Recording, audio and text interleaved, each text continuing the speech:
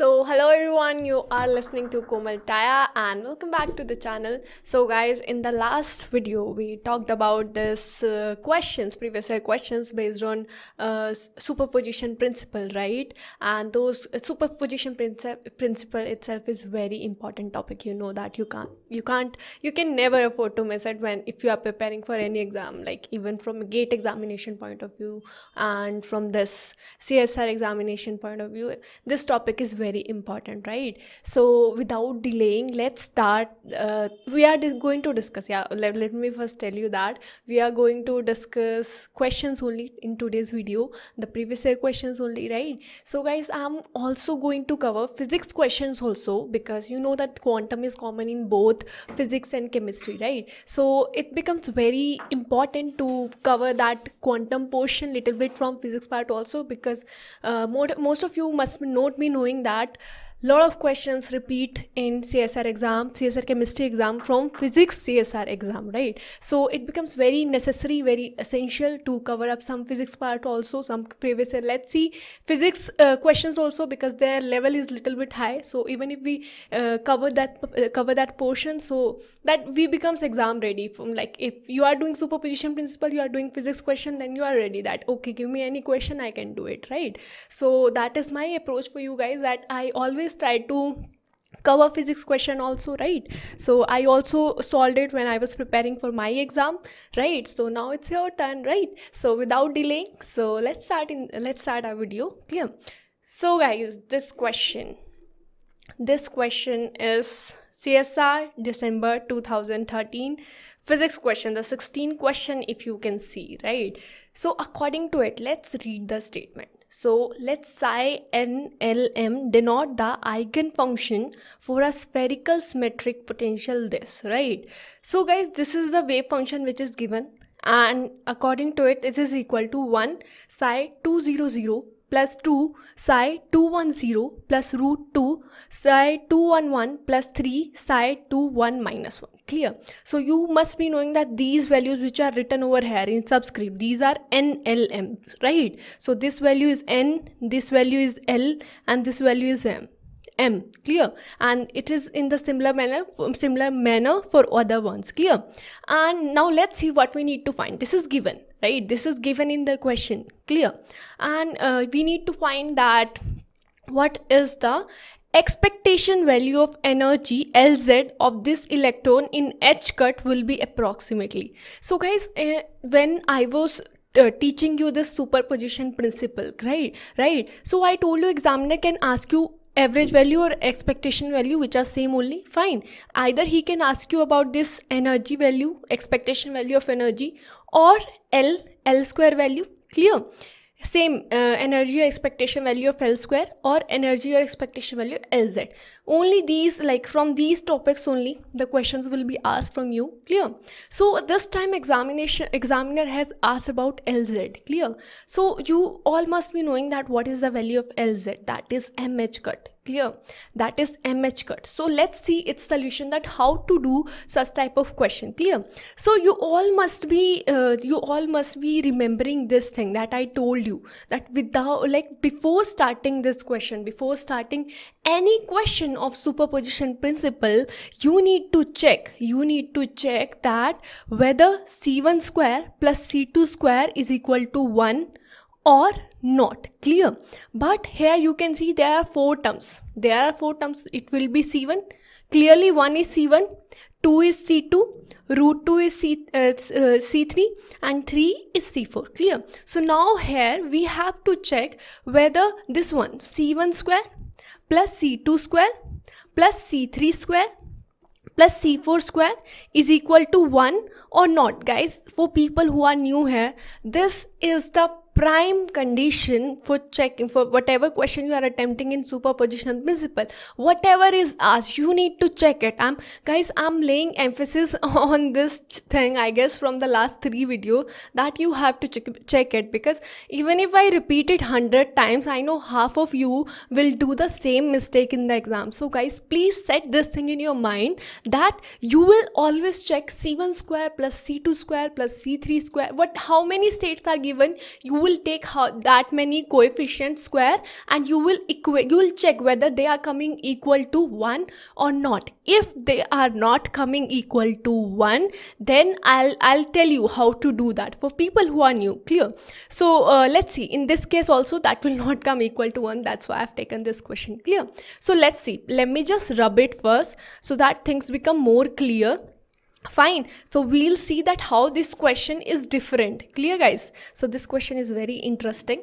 So let's have a look over it. So what i'll do i will put this c1 square plus c2 square plus c3 square plus c4 square is equal to 1 so what is c1 which is 1 so i will take 1 square and c2 square. So that is 2 square plus c3 square. That is root 2 square plus c4 square which is 3 right? So i will take 3 square. So guys when i'll add them when i'll add them so what i'll get? I'll get the sum equal to 16 i'll get the sum equal to 16 you can check. It will be 1 and 2 square will be 4 and root 2 square will be 2 and 3 square will be 9 so 9 plus 2 11 11 plus 4 15 15 plus 1 16 so this is not coming equal to 1 so if you have any value when you will be checking this condition that c1 square plus c2 square plus c3 square plus c4 square depending on how many states are given here four states are given. Clear? So you will take four coefficients clear? So you have taken it and you got 16 value instead of 1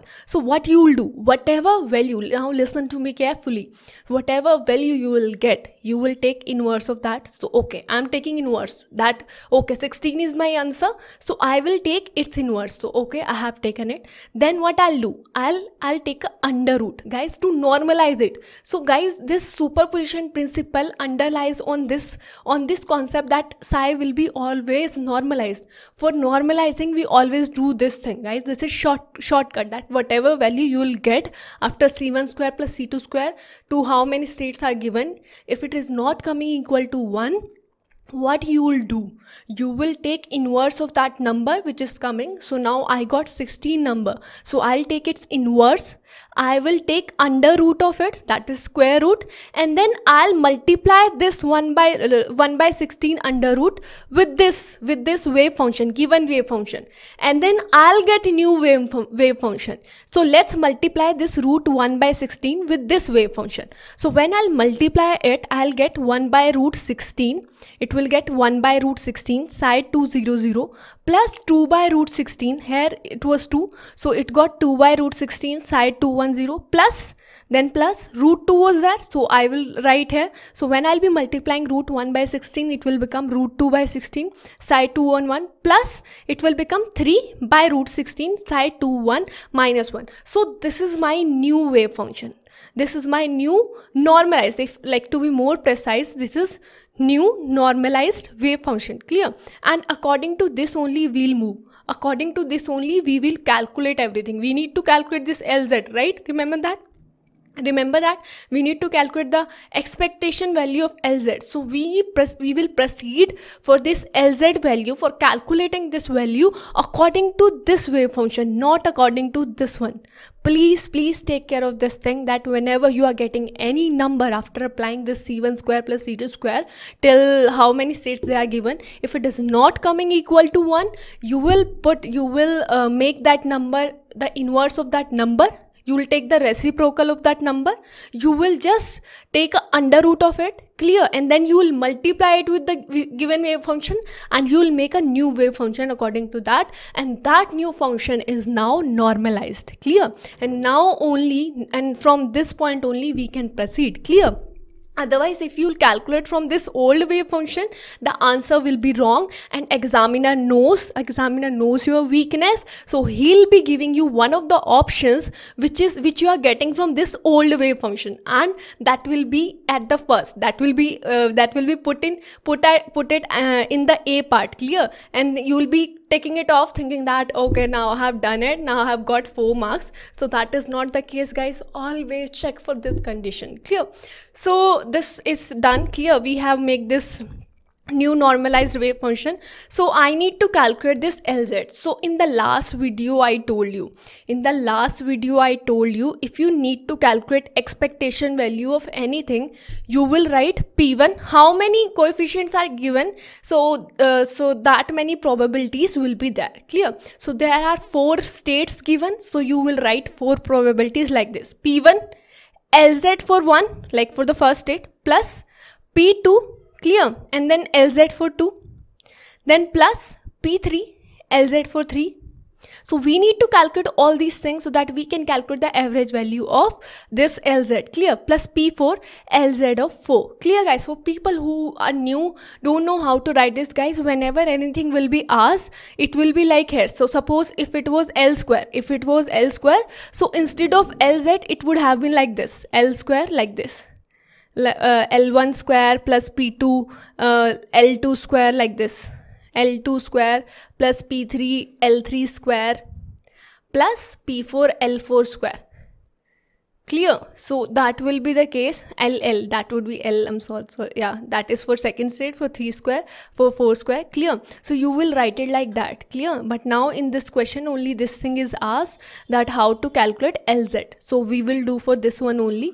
Clear so we will calculate each value this P1, P2, P3, P4 and LZ1, LZ2, LZ3 and LZ4 clear. So now let's see how to calculate P1. So P1 should be corresponding to first state which is this clear. So P1 would be P200 like uh, prob uh, probability of finding the particle in this state like 200 clear. So I told you that the probability formula is C1 square probability formula if you are finding p1 that would be c1 square. So what is c1 that is 1 clear? Uh, so that was 1 earlier but don't take this one. Take this one now. Now this is c1 clear? Now this is c2 your new c1 new c2 this c3 and this is c4 clear. So you will write probability according to c1 square. That would be 1 by 16 guys if you take probability according to this last old wave function you can see the answer would be 1 but here the answer is 1 by 16 so can you see guys how uh, how answer can be changed by just uh, varying these wave function? Clear. So don't do such type of mistake. Take only this wave function. So you will get 1 by root 16 clear. Let me just clear this mess first because i have literally created mess over here so now now go for this one p210 clear? That is second state that is second. You this is c1 new the new c1 new c2 new c3 and new c4 clear? So now calculate for this for second state which is psi 210 so i will write probability corresponding to 210 and you know that is equal to c2 square and what is c2 that is 2 by root 16 so when you will put 2 by root 16 square that will become 2 by 16 clear uh, 4 by 16 clear. So that will become 1 by 4 clear. So now let's see let's see for another one. So p3 you know p3 correspond to third state which is corresponding to this 211 so i will write p211 clear? This p211 so i will write c3 square so C3 square is root 2 by 16. So I will take it square and my answer will be coming 1 by 8. So let's find for the uh, last stage, last uh, state which is psi 2 1 minus 1. So probability corresponding to this state which is P2 1 minus 1 that would be C4 square which is 3 by root 16 square which will become 9 by 16 clear. So I got all these value P1, P2, P3, P4. So the only uh, values which are left to calculate which uh, they are LZ1, LZ2, LZ3 and LZ4 clear? So now let's uh, let me first tell you that what is the formula of lz that is mh cut. That is mh cut guys. This value is very important. This formula is very important. So always remember this formula. Clear? So this is L, lz is equal to mh cut. Clear? So this lz corresponding to this psi 200 Lz corresponding to this psi 200 that would be. So if I for, for the first state obviously I'll calculate for first state you can see over here I have to calculate for first state for second state for third state and for fourth state. So if I need to calculate Lz for first state that would be Lz psi 200 and the formula would be C, uh, mh cut. Clear? Formula will be mh cut. So guys can you please tell me where, what is m in this value? So in starting only I told you the first value is n the second value is L and the third value represent M. So you can see from here the M value is 0. So 0 into H cut will be 0 only because it is the third value is m only guys. So third value is m clear? So the third value is 0 so i will write 0 into h cut so i will get 0 clear? So now let's find for second state. So second state is this one 210 clear? So i will write lz for psi 210 so now what i'll get? Again m value is 0 because i told you the last value is m. So again it is mh cut and m is 0 and it will become 0 into h cut. That would be 0 clear guys? So now let's solve for uh, let's solve for third state. So third state is psi 211 clear? psi 211 is there. So when i'll calculate this lz psi 211 so what i'll get? Mh cut. Now m is 1 now m is 1 because I told you the third one is m because psi is represented like this n l m. So third value is m clear. So this is uh, m clear. So which is 1. So I will write mh cut. mh cut is you you can see m is 1 clear. So I will write 1 h cut clear. So now let's see for the last stage which is psi 2 1 minus 1. So here m is minus 1. So I will write mh cut as minus 1 h, uh, minus 1 h cut clear. So this expectation value will be. So now let's put every value which I have calculated from probabilities from LZ value into this formula. So I'll get the uh, final value of expectation value of LZ clear. So the expectation value of LZ would be this into this so guys tell me this one. So you know that this lz1 and lz2 are 0 can you see lz1 and lz2 are 0 so if it is 0 if it is 0 so multiplication with anything would be 0 so this term will also be 0 this term will also be 0 because you need to you need to multiply this with this p1 with lz1 but lz1 is 0 so this will become 0 this will become 0 again in second case also the lz2 is 0 so anything probability whatever is probability p2 is there. So multiplication with 0 that will be 0 so the only contribution will be from this this term and this term. Clear? So let's write p3 so p3 is this one which is 1 by 8 so i will write 1 by 8 into h cut. 1 by 8 or 2 by 16 you can see from here. If i write overhead it will become 2 by 16 clear i can write 1 by 8 like this 2 by 16 so when i'll multiply this uh, 2 by 16 into h cut so it will be 2 by 16 h cut and then when i'll be multiplying plus okay plus is there. So p4 into lz4 is there. So what is p4 that is 9 by 16 so i will write 9 by 16 into minus 1 h cut is there. So i will apply minus over here because plus minus will be minus. So that would be 9 by 16 into h cut. So when i'll be solving it i'll get this value which is minus 7 by 16 h cut. So that is our expectation value of lz so guys i hope this thing is clear to you. This example was very important.